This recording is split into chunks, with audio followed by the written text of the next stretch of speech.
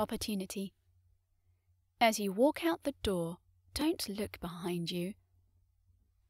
That is the past. Look ahead. See all that is new. As you shut the door, don't feel disappointment.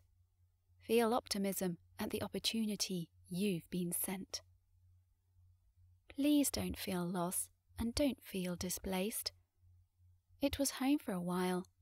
The experience was great. But the time has come to think of what you want. Ignore what they need. Don't let uncertainty taunt. As we move on, we should live and we should learn.